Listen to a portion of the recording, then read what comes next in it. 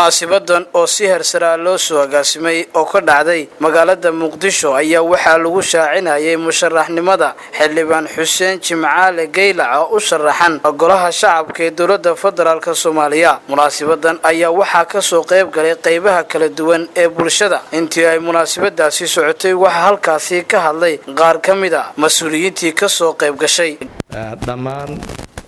odayaasha akhyaarta salaadiinta meesha ee maanta ka soo qayb gashay xafladan walaalkay xuseen galiyaac oo u taagan musharaxa beesha habar ceeno labada kursi oo kamida kursi kamida sida walaalkeen xuseen noo sheegay waa musharax u taagan beesha habar ceeno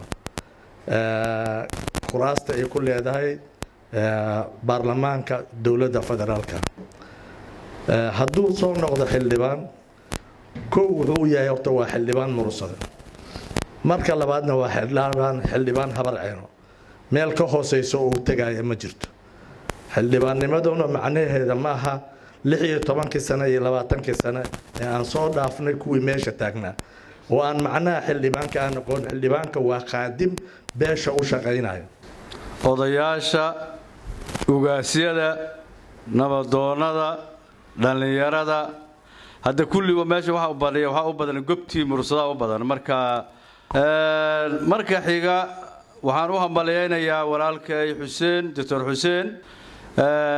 Doctor xuseen soo dhowow hambalyo. Sida aad sheegtay waxaan rajeynaynaa waxaan leenahay xildhibaankii sanadkan adiga waayo. Waxaa noo dhigay xuseen muxuaa galyaac nin la yidhaahdo ama xuseen jimcaale waxaan malaynayaa lix iyo toban sano iyo haddaa inay ka badantaa ma aqaan ayaa rag maaragtay ku dheganaa kuraastaa rag ku hayay. Wax hadda maanta habar ceena ka soo gaaray oo guulana annagu ma hayno. Marka xafladaas waxaan u ka nimiday asaga ugu roonaa mayna annagaa isugu roonaasho weyna maadaama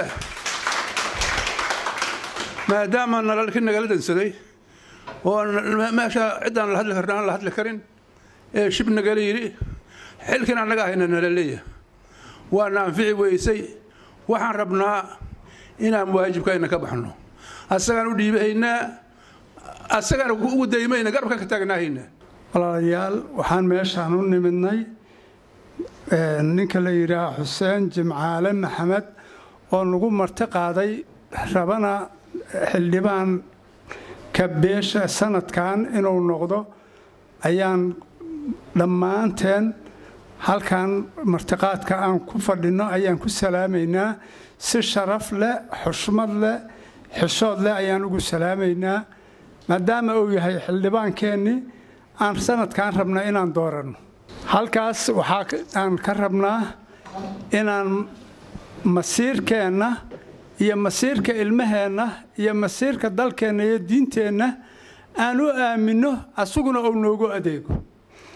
Asigoo aan doonayno inuu ka soo baxo oqoonna u leeyahay aragti dheerna u leeyahay inuu ka soo baxna aan ka doonayno. Oo uuna noqon kuwii maaragtay dalkana dadkana cunaha ku dheganaay dowladdana xaniyaha ku dheganaay ee dhammaanteen waxaan waxbarasho iyo adduunyo aan lahayn god la galay inuuna noqonno waa ugu hambalyayhaynaa oo uu ka baxsado halkaas. Kasoo qaybgalka xafladda anigoo ku hadlayo codka dhallinyarada beesha waxaan soo dhoweynayaa murashaxa xildhibaannimada dowladda federaalk ee soomaaliya mudane xuseen jimcaale maxamed. Mar koowaad iyo mar labaadba waxaan ku soo dhoweynayaa codka dhallinyarada beesha waxaan leeyahay mudane soo dhowow waxaad tahay nin mateli kara shacabka dhallinyarada dhammaan beesha intay ka kooban tahay nin mateli karo. Haddii laga hadlaya aqoon haddii laga hadlaya daacadnimo iyo hufnaan sida halkudhigaada iyo haba karti iyo hufnaan waan dareemayaa inaad soo qoratay waan kugu soo dhoweynaynaahe waxaad noqotaa mid noo adeegi kara ha noqonin kuwii xirkaa gooyey. Gebagabadii xildhibaan xuseen jimcaale geylac ayaa isagu munaasabadaasi ka hadlay waxaanu ballan qaaday inuu si daacad ugu shaqayn doono dalka iyo dadka isagoo ka hadlayana waxau idhi xafladdan waxaan ugu talagalay inaan ku shaaciyo inaan sanadkan rabo inaan noqdo u tartamo xildhibaannimada intaasaan horta xafladdan ugu talagalay ujeeddadu sidaasay ahayd.